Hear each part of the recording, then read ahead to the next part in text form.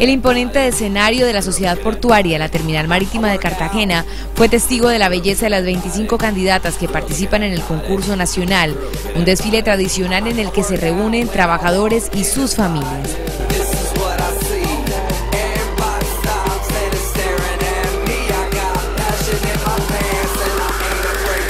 Junto a la actual señorita Colombia, Daniela Álvarez Vázquez, las candidatas desfilaron de la mano de pequeños edecanes, hijos de los trabajadores de la sociedad portuaria.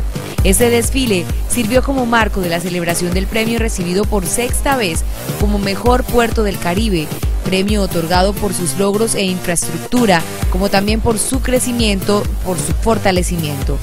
Su vinculación con el reinado es estrecho desde hace varias décadas. Este, este evento es tan importante como todos los del concurso, pero este tiene un significado especial y emblemático.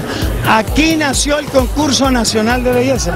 En el año 34, con motivo de la inauguración de este puerto, con la presencia del señor presidente de la República de Colombia en ese momento, Enrique Olaya Herrera, y Franklin Delano Roosevelt de los Estados Unidos.